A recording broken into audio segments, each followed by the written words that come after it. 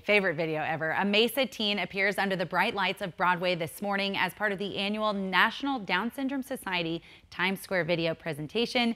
Team 12's Trisha Hendricks introduces us to the teen and his mom.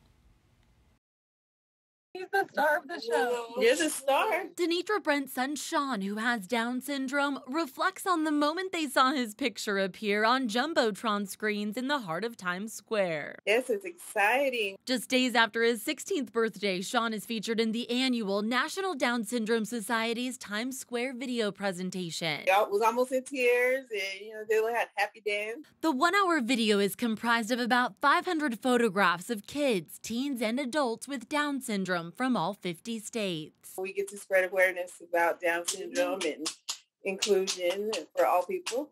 The photo of Sean was selected from more than 2,100 entries. Here, Sean is holding up his trademark peace sign he does in all of his pictures. Called my mom right away. I was excited. Guess what? His mom says he's a fun-loving teenager and everyone who meets him just loves him. Very popular little boy. I could see why. Sean blowing kisses through the screen during our interview. You have to watch him. He's a flirt. He'll give you the his duck lip kisses. Hi, Sean. and he loves the ladies, so he'll he'll flirt with you. Oh, I feel so honored. the collective images shown during the video presentation helping to promote the value, acceptance, and inclusion of people with Down syndrome in a very visible way. Extra chromosome, extra love, because they definitely love you even harder.